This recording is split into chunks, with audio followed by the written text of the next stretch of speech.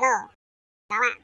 À, chào mừng các bạn đến với kênh à, uh, MV, một cái kênh uh, cung cấp một kiến thức về lập trình Java và Android và tương lai sẽ nhiều ngôn ngữ khác nữa. Ok.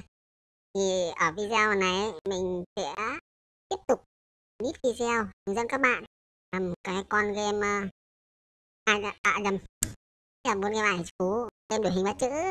Đấy bằng Android Studio. Được chưa? Ngôn ngữ mình code là Java. Đó thì ở video trước các bạn ừ, video trước mình hướng dẫn các bạn là hiển thị được cái nít này rồi đúng không? Bây giờ mình sẽ cho các bạn là khi mà khi mà ví, ví dụ vào ban đầu ấy thì nít đáp án của mình ấy trắng được chưa? Và khi mà kích vào đây này thì nó sẽ cho được đáp án lên trên này. Đấy. Thì bây giờ nhá ở đây thì đầu tiên ông này ở đây cái uh, màn chơi game activity mình ấy ví dụ mình ấy thì mình cho trắng hết. Đấy ok chưa? Đó và thì khi chạy lên ấy nó sẽ được như này.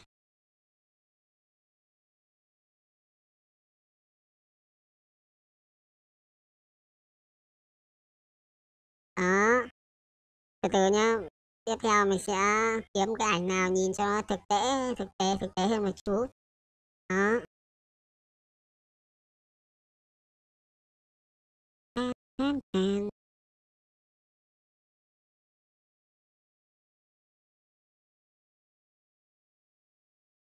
Hmm. Đây, đáp án của thằng này chắc các bạn biết. Mời trong tâm mới này. Hiện new hình ảnh lại. Nhìn lại nha Đáp án của thằng này chính là yếu ớt.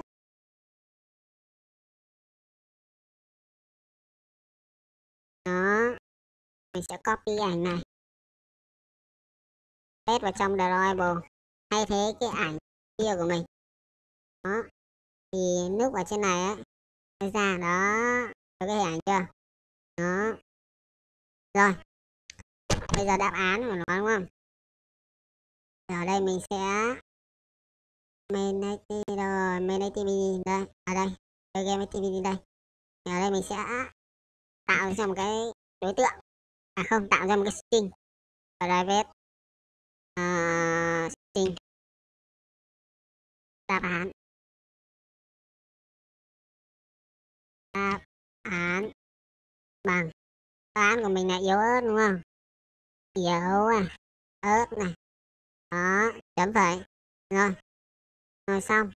Thì ở đây mình sẽ viết thêm một hàm nữa. Private viết void void à, người gọi là mình sẽ gọi thằng này là gì nhỉ? À, băm data. Băm data đấy. Data. Đó. Rồi thì cái thằng này nhiệm vụ gì? Đơn giản thôi. Cái ờ, cái thằng đây là đáp án. Nó giống như kiểu một cái em nói đích thực. Thì vào trong này ấy thì cái hàm này ấy sẽ liên hoan sát thịt em ý. Nó kiểu kiểu đấy. Đó. Thì à, ví dụ như kiểu cái đáp án yếu ớt này nó có một hai ba bốn năm. Năm chữ.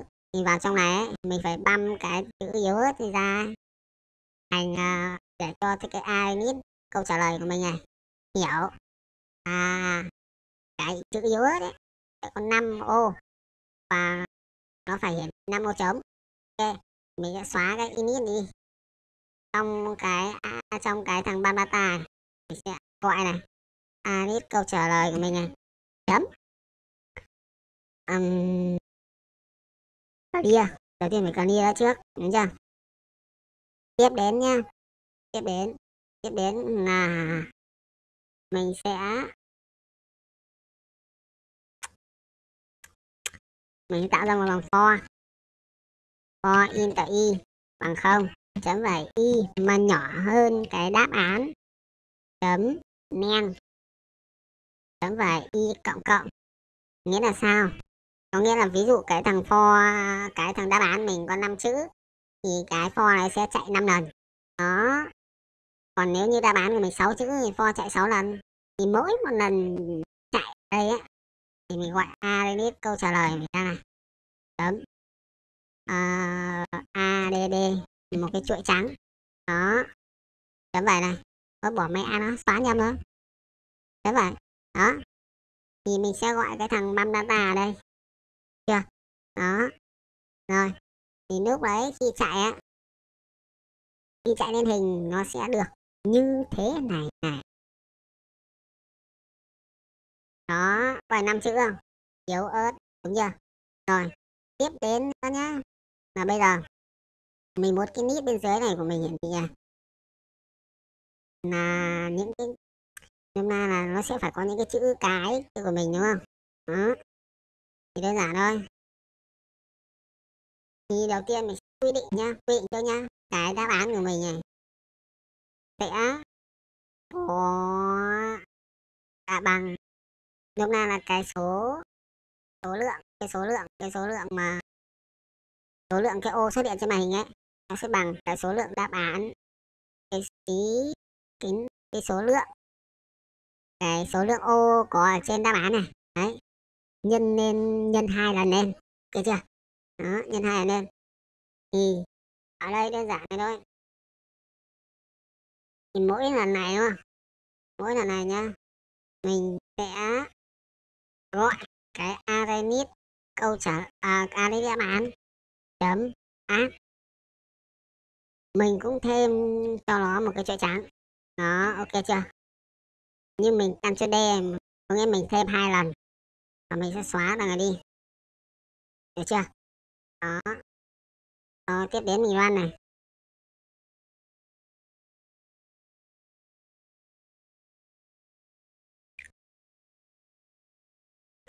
Chan chan chan đó.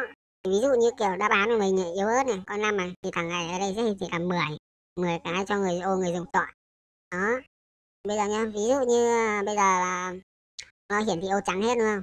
Cái thằng đáp án này bắt buộc phải hiển thị chữ, đúng không? Thì ở đây nha mình sẽ gọi là khi mà mình xóa một dòng đi khi mà thêm đấy, thì sẽ cộng thêm cho nó. bỏ hai cộng thêm đi. Ở đây mình sẽ tạo ra một cái string. Sc bằng à, mình sẽ từ từ nhá. Mình sẽ lấy ra theo cái bảng ASCII bảng mã ASCII ASCII ASCII mình chả rõ lắm hồi xưa mình nhớ là mình phải bắt bị bắt học thuộc cái bảng này tôi mệt tôi mệt đấy thì các bạn chú ý một chút nha là cái chữ a a viết hòa à? con đến cái chữ z viết hòa à? có phải là cái cái số thứ tự của nó là từ 66 à là 65 65 cho đến ờ, uh, 90 đúng không? Thì đây nhá. Đầu tiên sẽ tạo ra cho nó một cái biến random đấy r bằng new random đó và đây mình sẽ s thì bạn s cộng bằng một cái chuỗi trắng cộng với lại mở ngoặc à. Mình sẽ format nó về kiểu ở đây. Từ từ làm từ từ. Vấn đề là mình muốn các bạn hiểu nên mình sẽ làm từ từ. Mình sẽ gọi r chấm next in. Next in uh, trăm. Ok chưa? Đó. Và ở đây mình sẽ thêm cái chuỗi s này vào cho thằng này căn cho d hai lần à không copy thằng này hai lần. Đó.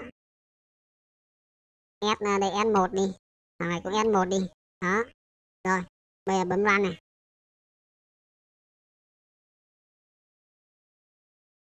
Thì lúc này có phải là hiển thị ra số sai đúng không? Mình muốn hiển thị ra chữ. Thì các bạn ép cái thằng thằng này ép cái số mà vừa mình tạo ấy về kiểu tra. Đó, tra cho mình đấy rồi, copy cái thằng này nhá. Paste thẳng dưới này. Rồi, bây giờ bấm run này, xem được cái gì rồi.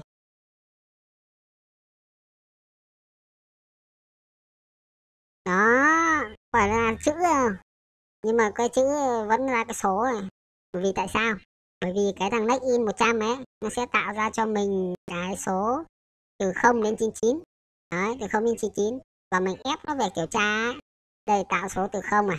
Đấy, đến 99 và khi mình ép về kiểu tra thì đồng nghĩa việc là mình sẽ lấy cái ký tự này. Đấy, và mình nhét cho nó. Đấy, dẫn đến cái việc uh, nó sẽ hiển thị lung tung.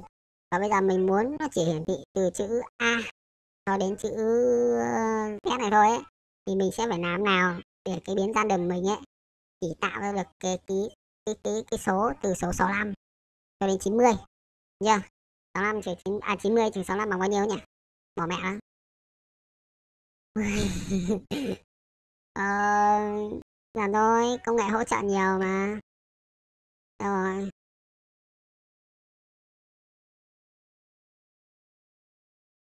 Quá ừ, Google đi. 6 90 trừ 65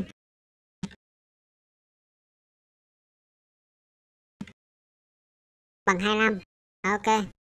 Nghĩa là sao? Nghĩa là cái ký tự, cái sự, cái số mà mình tạo nhất, nó phải là nhỏ, ít nhất là phải bằng 65 đúng không? Thì ở đây nha.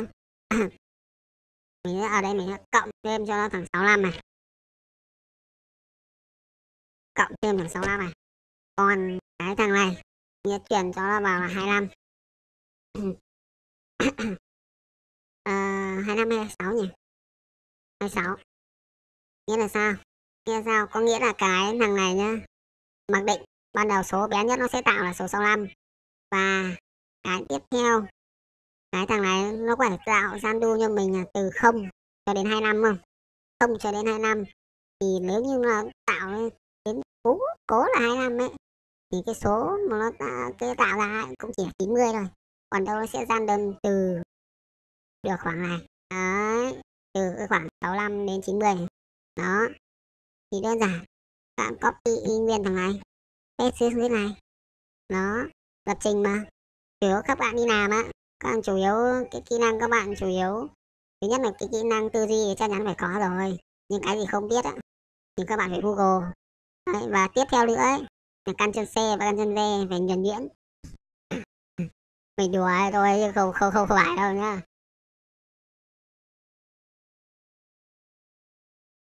Rồi à, đó các nhìn chưa? Nó đã tạo ra mình được cái số rồi rồi tiếp đến tiếp đến nữa nảy sinh vấn đề nữa là cái đáp án yếu ớt của mình ấy nó chưa được thêm trong này. Đấy bây giờ mình muốn thêm vào trong ấy mình sẽ làm kiểu gì bạn copy tiếp cho mình một cái vòng for nha. À. rồi, thì một cái vòng for thứ hai của mình này, mình sẽ lấy cái đáp án và mình nhét vào cái chuỗi đáp án cho mình. Ở đây. Bạn gọi cái a là đáp án ra. Bạn gọi hàm xét.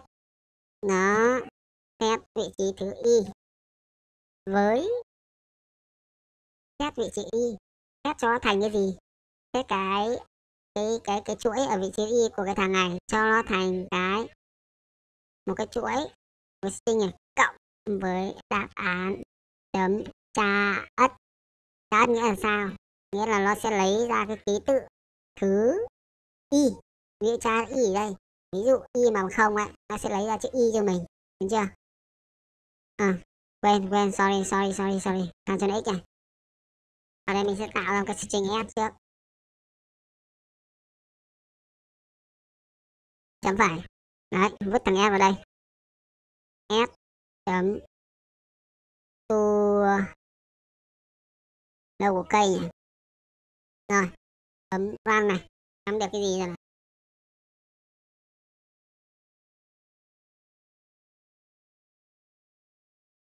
Đó, ô tu lộ cây sai rồi. Nhầm tu áp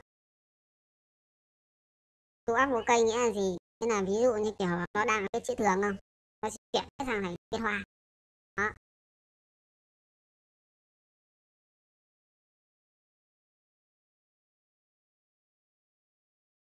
Đó, ta nhìn thấy chữ yếu ở đây chưa? Rồi, đây là một cái. Tiếp đến nữa, bây giờ nhưng mà cái này nó chưa hề, nó chưa hề đảo lộn vị trí không nên là chơi này dễ quá, người dùng nhìn cái dùng ấn đây biết ngay. Bây giờ mình muốn cái đáp án mình ấy cái chữ nó bị đảo lộn. Ở đây. Tạo ra phòng for đó.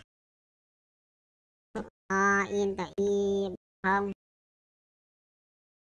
Chấm phẩy y nhỏ hơn 10 chấm phẩy y cộng cộng. Thì vòng for có tác dụng gì? For nó sẽ đảo vị trí trong cái chuỗi đáp án trong cái nít đáp án mình. Đó. Thì ấy đơn giản thôi. Mình sẽ gọi này mình gọi là một cái string s bằng arr đáp án. Chấm. Ghép vị trí chữ y. Đó lấy là thằng chữ y rồi ha. Tiếp theo đấy.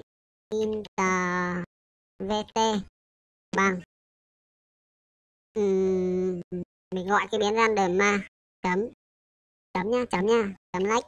Lách in. Và truyền vào cho nó là cái a đáp án. Chấm sai. Nghĩa là sao?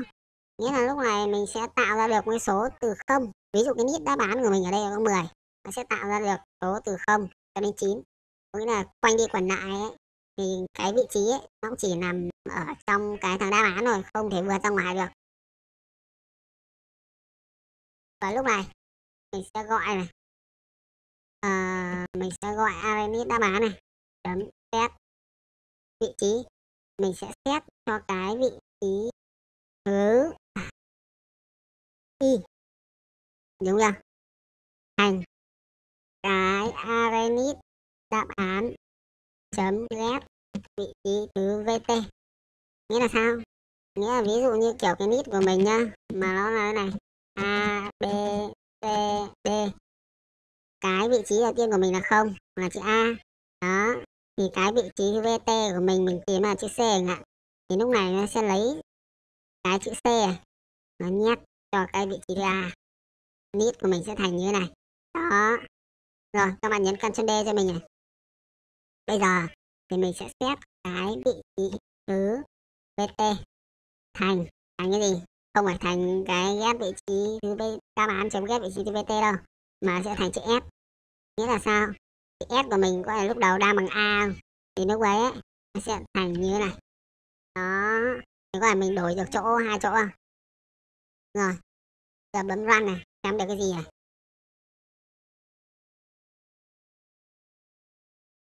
đó ta nhìn nha. Y này e này u này yếu này.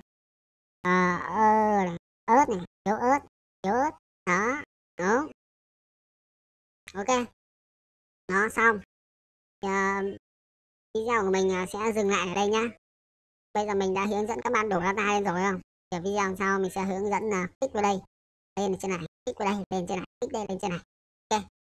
Uh, nếu các bạn thấy video này hay á thì các bạn có thể nhấn like và ủng hộ mình bằng cách đăng ký kênh để giúp mình có thể là cái là có nhiều đăng ký hơn có nhiều đăng ký hơn thì là kênh của mình hiện tại vẫn chưa hái ra tiền. Đó thì khi mà mình có nhiều đăng ký hơn kênh mình hái ra tiền thì mình sẽ có động lực làm nhiều video khác nữa ok nếu như các bạn có ý tưởng gì á, hay là mình làm sai đâu ấy, thì hãy comment bên dưới để cho mình biết nhá. Ok, video của mình xin dừng lại đây, chúc bạn học hành vui vẻ.